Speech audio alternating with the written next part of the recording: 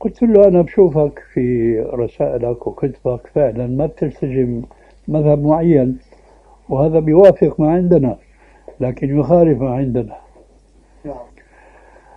آه فعلى أي أساس أنت لما تأخذ مسألة من مذهب الحنفي أخرى في الشافعي وأخرى في الظاهري وإلى آخره قال أنا بشوف شو اللي بيناسب الأمة في هذا الزمان شو الأصلح لها بختار القول بيناسب فعرفت أنه منهجه كمنهج كثير من المصريين وأمثالهم وهو اتباع الهوى.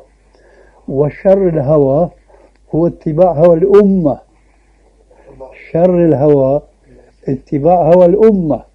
وأنا بقول لكم بكل صراحة ربما لأول مرة بتسمعوا هالكلام هذا. نعرف نحن أنه الإنسان يتبع هواه. أما شر الهوى أنه يتبع هوى الأمة. ليه؟ لأنه الشخص لما بيتبع هواه ضل هو.